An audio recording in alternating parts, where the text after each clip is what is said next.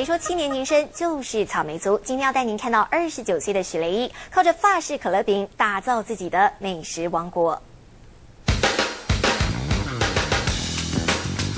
一直怀念这个味道啊，然后就就想要吃。它猪肉还蛮嫩的，对啊，它其实会砍稀，很好吃。女孩们念念不忘，男孩们赞不绝口。有着幸福味道的可乐饼，不止台湾人喜欢，观光客更是千里迢迢慕名而来，特地来的。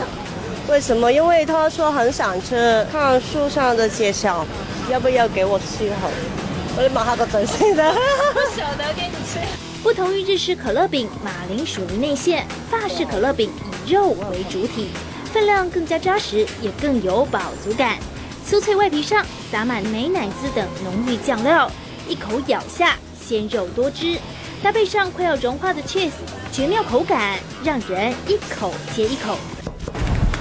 猪肉选用新鲜夹心肉，油花用的是高级的猪腹五花，拌入炒过放冷的洋葱、蛋汁以及盐巴、砂糖、胡椒粒、罗勒粉、豆蔻粉等香料调味。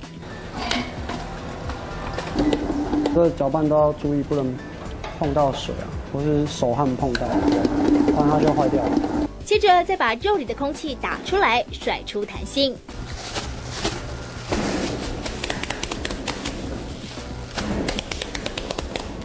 然后再放入冰箱冷藏一到两个小时，才能够动手做肉胚。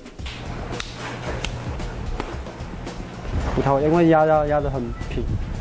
就怕温度影响新鲜度，动作从一开始的不熟练到现在的快速利落，塑形之后半成品就得要马上冷冻，每个环节都不马虎，边卖边调整，终于有了自己的黄金配方。苦尽甘来，业绩稳定成长。不过许雷毅可没因此松懈，不停求新求变。